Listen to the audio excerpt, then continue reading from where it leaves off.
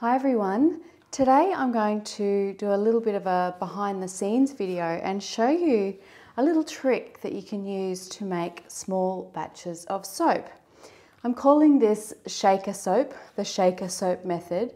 And what it does is it uses a shaker of some kind, something with a screw top lid that is very secure is ideal for this um, but also something that is uh, e easy to get soap out of. So instead of using a stick blender in a bowl or a jug, we're going to make a really small batch of soap inside this shaker.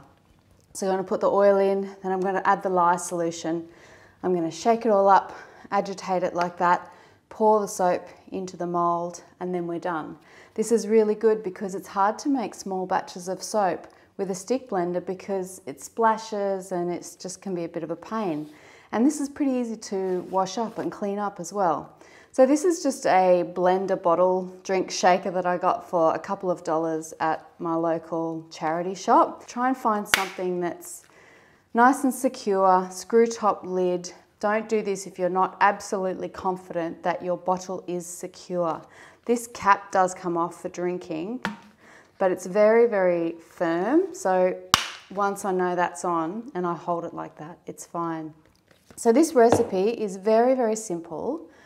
It's going to be a Castile soap. So that's 100% olive oil and I'm making honey Castile soap. So it is, a, it is a test batch for me. I don't want to make a whole lot of it. I've never actually made a Castile soap with honey in it before. I've got some beautiful local honey from a lady up the road who sells it. Um, she's got hives in her um, on her property, and I'm going to be using Australian extra virgin olive oil and honey and just water for the lye solution and no no colouring or no fragrance. I just want to see how it behaves by itself. So you can use this recipe for your own um, shaker soap uh, batch if you want to, but the point of this video is just to show you this method and to introduce you to this idea of using a shaker bottle to make your soap. This is great if you don't have a stick blender and you want to make soap, small batches just for your personal use. You don't need a stick blender, you can make small batches in a shaker. So the first thing I'm going to do is make my lye solution. I'm going to split the water in half. I want to use half ice because honey can really heat up and I don't want it to scorch. So I'm going to dissolve the honey in half the water and then use ice for the other half and hopefully that will work. But this is a test batch, so we're going to find out. So I need 89 grams of water in total. So I'm going to start with 45 grams, which is roughly half. It's not much. Whoops, 48 I'll take a little tiny bit out. Gee, it's a tiny amount of water, isn't it? There we go, that'll do. 45. And then I generally would, from the research I did, um, you would add about a teaspoon of honey per pound of oils. And this is under a pound of oils, it's only 400 grams. A pound is somewhere around 500 grams. So I'm going to use a small small teaspoon of honey. This is roughly a metric teaspoon too, which is bigger than a customary teaspoon. So that's roughly about right. I'm going to dissolve that in.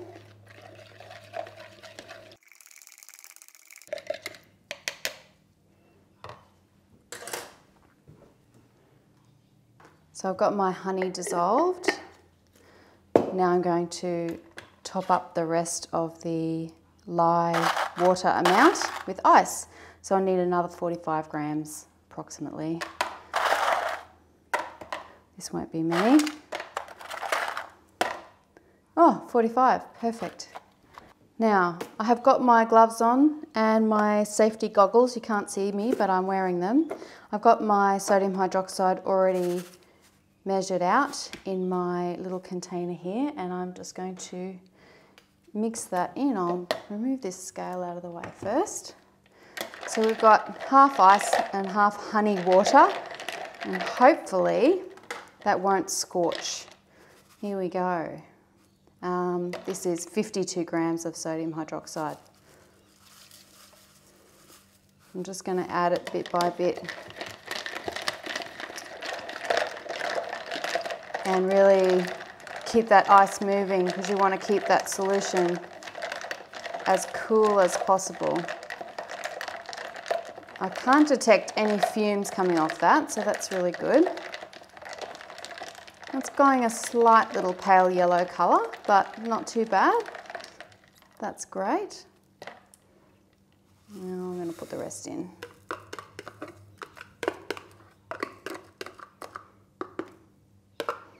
It's kind of fun doing this video because um, this is the kind of soap making that I do when I'm not recording videos.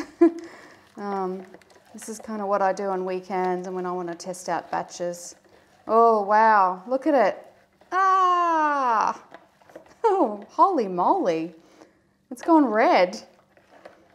Wow, I did not expect that. Okay. Oh, man. I cannot get over that colour.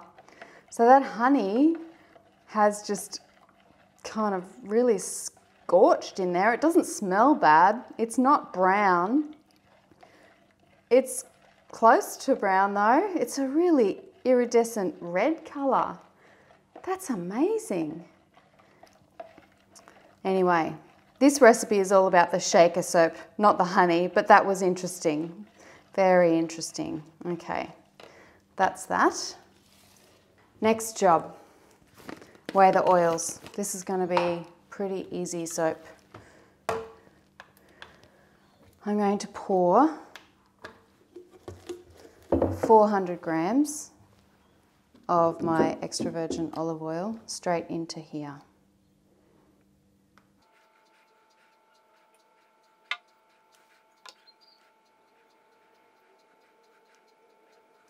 There we go. 400. Now we're ready to make the soap.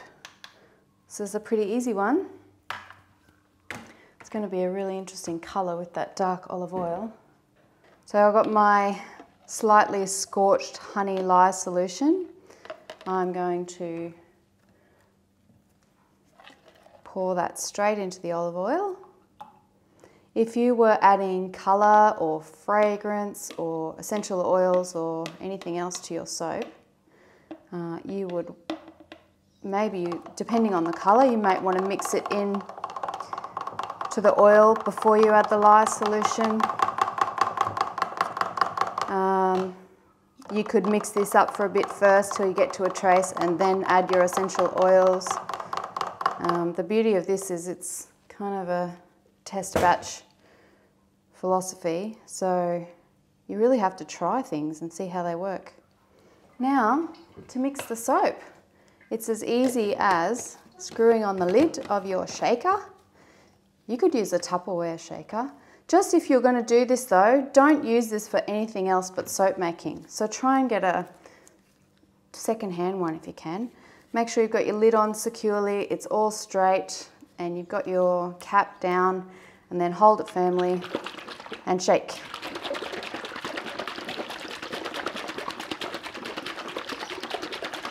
This is going to take a while because it is olive oil soap, which is notoriously slow to trace.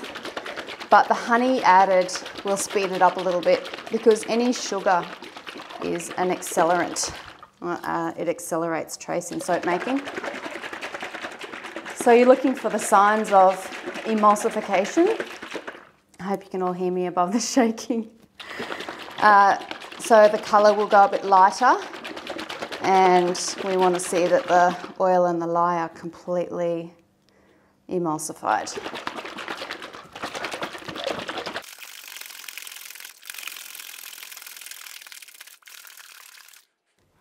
It's getting a little bit lighter. It's quite a workout. Other soap recipes would be a lot faster than this, but this is olive oil soap for you. It's very slow. I think that's enough. It looks emulsified to me. I'm to take this lid off and have a little peek. So I hope you can see that, just a little bit of a close up. It's not quite tracing, it's almost a light trace, but um, as you can see on the back of my spoon, there's no separating out of the oils. I can't see any oil there at all.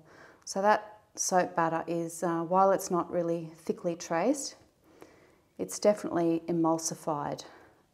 So it shouldn't separate on me. Amazing. All right. It's got a great colour with the extra virgin olive oil as well. Just going to pour that now. Should get about four of these bars out of this, I think. These are just the silicone molds from Kmart here in Australia. You can buy these from Kmart. Um, I really like the shape of these just for my day-to-day -day shower soap. They're just the right size for me. Oh, four in a little bit. I should have put that into the other ones. And that's it. So you can put the lid back on that and just let it sit for a few days so that that soap inside, it all saponifies. It'll make it a lot easier to clean. The other experiment I'm going to do with this batch is I'm going to try and do a CPOP on this, so an oven process. I'm going to watch it, just let, let it set up and get firm first, and then I'm just going to put it in the oven on about 60 degrees Celsius for a little while just to force the gel, although the honey may make it gel by itself.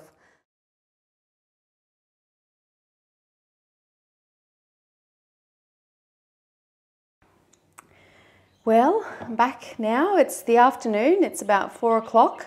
The soap has been in the oven for a few hours, just on very, very low heat. Well, actually, it was on heat for probably about an hour and then I turned it off when I could see that it had fully gelled. So I have forced this soap to saponify using some heat from the oven. Uh, and it turned out really well. It's not as dark as I thought it might be. It's quite creamy, but this is interesting. Check this out. This is a great example. It looks like an Aero bar, uh, but this is what's called silicone rash. There's nothing wrong with this. It's perfectly good soap. Um, this is completely saponified, so it's okay for me to touch it. See how it's all pockmarked? It's, it's got all bubbles. That's a classic thing that happens when you oven process soap in individual silicone molds. So it's a little bit annoying and part of the test today was to see if I could avoid that. But I, yeah, I got it again, so never mind. Uh, but the soap will still be great to use. It smells really good. It's just got this beautiful creamy olive smell. It's amazing. I'm gonna put it like that. Uh, yeah, so there you go. There's the soap. Like I said, it's nearly fully saponified um, and made in the shaker, so it was easy to do. There's my little short little bar.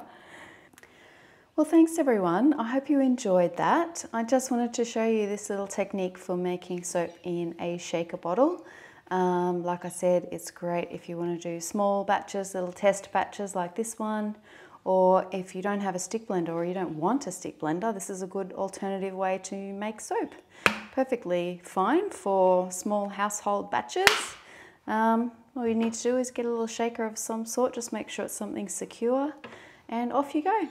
Thanks everyone. I'll see you again soon.